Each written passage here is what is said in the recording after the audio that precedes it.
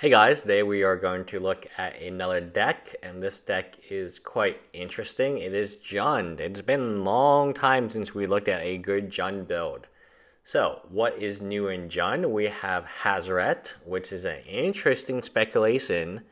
It sees modern play, and it's a very powerful card. I think it's going to go up in price eventually.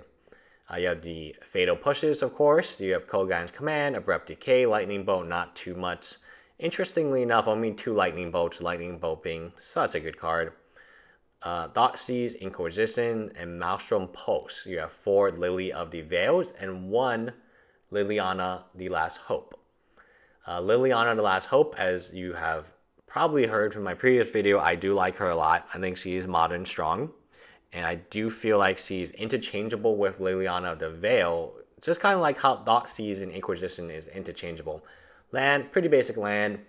You got Damnation in the sideboard, Anger of the Gods, Collective Brutality. Not too much going on here. You do have the now more expensive uh, maids, Fulminator Mages.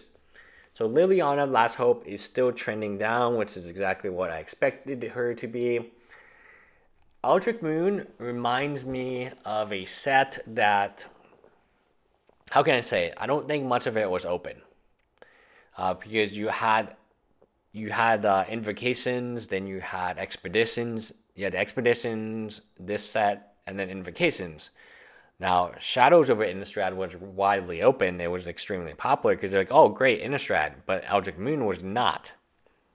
One of the reasons is uh, not only was the draft, I think you have to draft uh, Shadows with Eldritch Moon, but Eldritch Moon itself, one of its big baddies, Emrakul, was banned.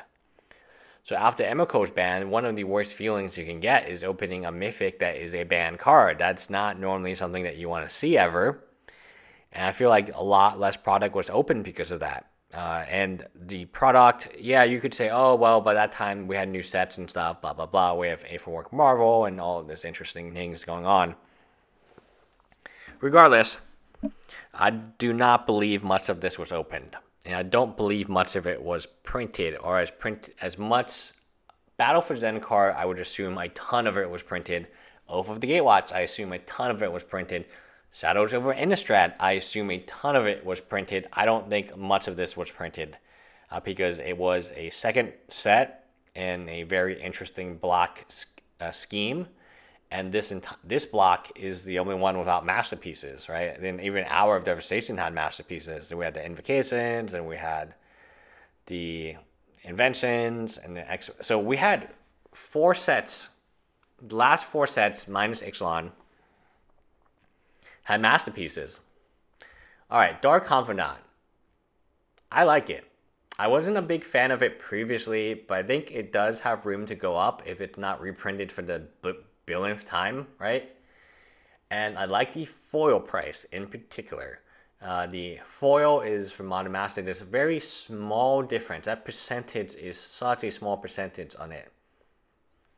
Lily of the Veil. Is it time to buy lilies? Yes. I feel like $85 unless he gets another reprint. So a lot of this is based on these cards not getting reprinted, which no one can predict. Yes, I think that some cards will are more likely to be reprinted than others. Like the Shocklands could be in 25th anniversary. I would not be absolutely surprised to see that. But after 2017, Lily of the Veil $85 and the fact that she hasn't really dipped or gone up or down, it's stable. I like it. I like $85 lilies. I feel like she could hit over 100 again. And I actually like this lily better than the original lily because of that little sticker in the bottom. And I've been on record for saying I like to have cards with stickers on now. It makes trading easier. It makes, you know, playing easier. There's no like, oh, are you playing with a proxy? That awkward kind of uh, question even if you, I mean, at the end of the day, Magic is a player's game. I do hope that Lily becomes cheaper, and I believe she will eventually. But 85, you do need to have some chase cards. Now, this is an interesting speculation, especially in foil, and especially in her. I'm pretty sure it is a her. Uh, in her invocation foil. We know this sees modern play. We know it's very good. that's interesting.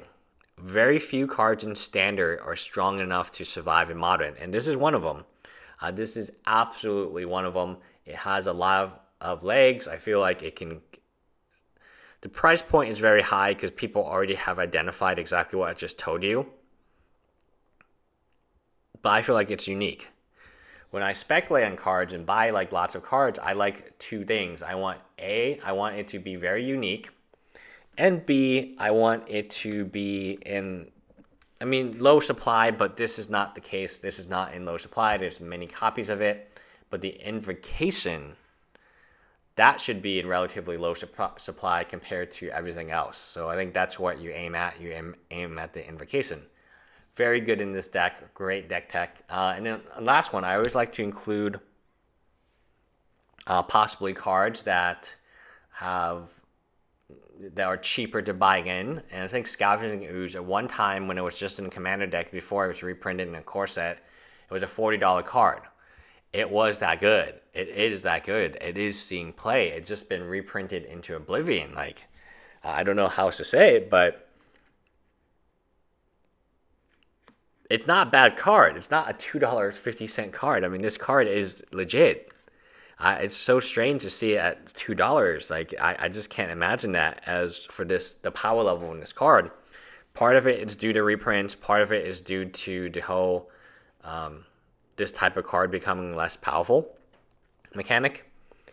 But should the meta shift again, yeah, you can expect this card to go up a ton in price, uh, barring the reprint again. I mean, it just got reprinted, so we'll see. Anyway, that is it. Bye, guys.